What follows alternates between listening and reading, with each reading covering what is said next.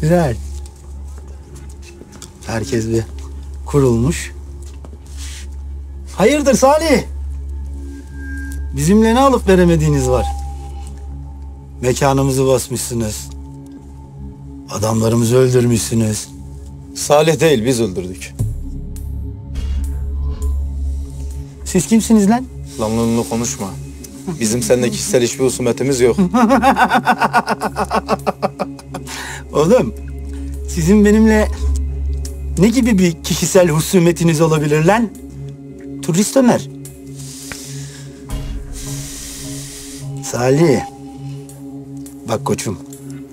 Sen bu arkadaşları hiç iyi eğitememişsin. Doğru konuş Samet Efendi. Burada eğitilecek bir adam varsa o da sensin. Salih! Bak kardeş, Baktım. belli ki sen bizi tanımıyorsan. He, tanımayan. Biz de seni tanımıyoruz. He. Ama insanlığa yaptığın bu pisliği bitir. Canım ya.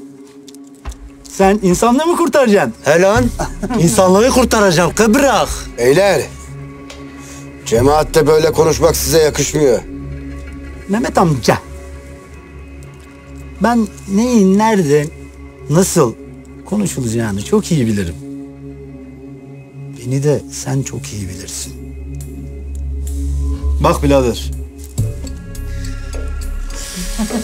Belli sen de kendine göre birisin. Ama bu yaşa gelmişsin. Hala bir cemaatle nasıl konuşulur öğrenememişsin. Ağzında sakız. Karşımıza geçmiş boş boş konuşuyorsun. Bak dışarıda düğün var. Bu işle alakası olmayan insanlar var, cemaatte bir büyük var. Olay çıkmasın. Bu işleri bırak. Tamam. Ben bu işleri bırakayım ya. Güney'e mi yerleşsem ben? Ben sizin yerinizde olsam beni buradan sağ çıkartmam. Git lan. Ben dedim.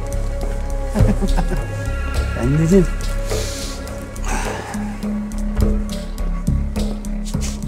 Bu hiç iyi olmadı. Hepimizin kendine dikkat etmesi lazım. O kendine dikkat etsin dayı.